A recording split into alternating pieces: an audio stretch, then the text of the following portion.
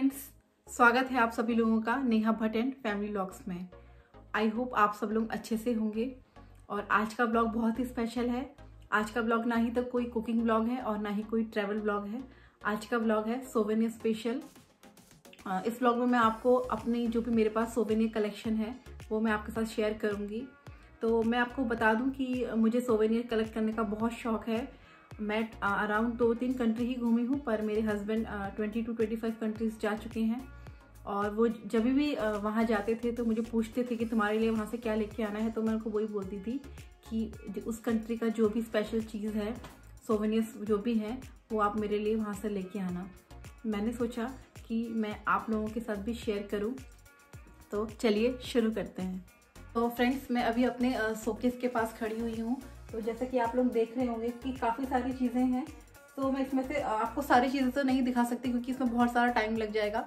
तो मैं आपको कुछ स्पेशल कंट्री की स्पेशल चीज़ें दिखाऊँगी। तो चलिए, मेरे साथ शुरू करते हैं। तो फ्रेंड्स मैं आपको बता दूँ कि जो मेरी पहली पोस्टिंग थी, वो चाइना थी। तो सबसे पहले वहीं से शुरू करते हैं। मैं आपको अपना चाइनीज़ कलेक्शन दिखाती हूँ। तो फ्रेंड्स आप लोग ये पॉट्स देख रहे होंगे। ये मेरा चाइना का कलेक्शन है। आप देख सकते हैं, ये ये तीनों एक साथ इन तीनों का सेट है। और साइड में भी जो है ये भी पॉट है। पॉट तो मेरे पास बहुत सारे हैं पर जो आ, मेरे फेवरेट हैं वो मैं आपको दिखा रही हूँ। और जो मेरे सबसे फेवरेट हैं वो है ये चाइनीज़ बेबी आप देख सकते हैं ये आ, जो बेबी होता है उसकी चार इनिशियल स्टेजेस हैं।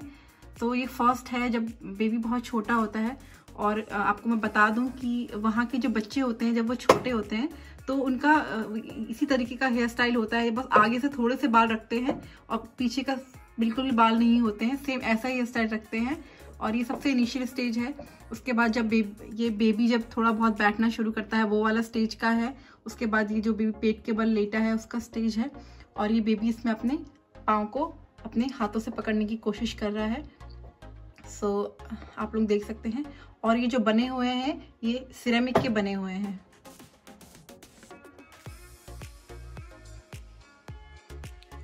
ये भी चाइना का ही कलेक्शन है। ये फोर सीज़न पेंटिंग है। ये जो पेंटिंग है सिल्क थ्रेड में बनी हुई है और ये वहाँ की फोर सीजन्स को रिप्रेजेंट करती है। Summer spring autumn and winter और ये उसी सीरीज़ में भी लगी हुई है। ये मेरा चाइना का कलेक्शन है। जैसे कि आप देख रहे हैं, ये सिरेमिक में बना हुआ है और आप इसमें बैठ भी सकते हैं। जैसे कि हम इंडिया में मुड्डा बोलते हैं, ये वही ये वही मुड्डा टाइप में है और आप इसमें बैठ भी सकते हैं और ये सिरेमिक का बना हुआ है।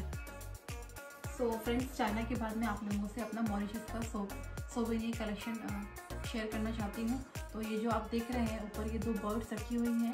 ये वहाँ की फ़ेमस बर्ड हुआ करती थी डोडो और अभी भी ये वहाँ पे फ़ेमस ही हैं, पर इनकी अब प्रजातियाँ हैं जो हैं, वो विलुप्त हो चुकी हैं। और मैं आपको बता दूँ कि मॉरिशस एक टूरिस्ट डेस्टिनेशन प्लेस है। वहाँ काफ़ी लोग घूमने आते हैं और वो अपने बीचेस के लिए फ़ेमस है। वहाँ के लोग भी बीचेस पे ही ज़्यादातर अपना टाइम स्पेंड करना पसंद करते हैं। वो लोग वीकेंड्स पे वहीं पे नाइट स्टे करते हैं, अपना खाने पीने का डिनर का सारा सामान लेके जाते हैं बाबिक्यू करते हैं डांस करते हैं। और डांस के लिए जो वो म्यूज़िकल इंस्ट्रूमेंट यूज़ करते हैं, वो ये है कि ड्रम्स हैं, ये बड़ा साइज़ का ड्रम है और ये दो छोटे साइज़ के ड्रम हैं। आई थिंक आप लोग देख पा रहे होंगे कि ड्रम के आगे भी दो दो बर्ड बनी हुई हैं और ये भी वहाँ का एक म्यूज़िकल इंस्ट्रूमेंट है, आप लोग देख सकते हैं। और ये भी एक म्यूज़िकल इंस्ट्रूमेंट है और जिस मुझे सबसे अच्छा लगता है वो ये है, ये भी एक म्यूज़िकल इंस्ट्रूमेंट है। और जो फ्रेंड्स ये बना हुआ है ये कोकोनट में बना हुआ है इसका जो आउटर पोर्शन है वो कोकोनट का बना हुआ है। सो so, फ्रेंड्स uh, आप लोग ये देख रहे हैं ये ये पेरिस का एफिल टावर है। ये one of the seven wonders में गिना जाता है। और इसे देखने के लिए लोग दूर दूर से पेरिस जाते हैं। सो so, फ्रेंड्स ये एफिल टावर का मेरे पास एक और कलेक्शन है। ये आ, ये नाइफ के शेप में है आप देख सकते हैं कि मैं इसको अलग कर सकती हूँ और मैं इसको जब ओपन करूँगी तो इसके अंदर से ये नाइफ सा निकलता है। ये भी पेरिस का एफिल टावर है और ये इस तरीके से होता है। सो so, फ्रेंड्स ये मेरे पास लंदन का सोवेनियर है। ये बिग बैन लंदन है। आप लोग देख सकते हैं और ये जो बना हुआ है ये क्रिस्टल में बना हुआ है और इसके जो साइड में जो डिज़ाइन है, ये मेटल से बना हुआ है। और फ्रेंड्स ये मलेशिया का ट्विन टावर है। और ये लाउस पीडीआर का कलेक्शन है, जो आप ये स्टैचू देख रहे हैं। ये सिल्वर के बने हुए हैं। और ये अफ्रीका का सोवेनियर है। आप लोग देख सकते हैं कि ये वहाँ का जो आदिवासी प्रजाति है उनका ट्रेडिशनल ड्रेस है और ये वुड में बना हुआ है। और फ्रेंड जो ये देख रहे हैं ये फ़ेमस भूटान की के फाइव स्कॉच विस्की है और ये भी हमने एक सोवेनियर की तरह रखी हुई है। और फ्रेंड्स ये किर्गिस्तान का सोवेनियर है।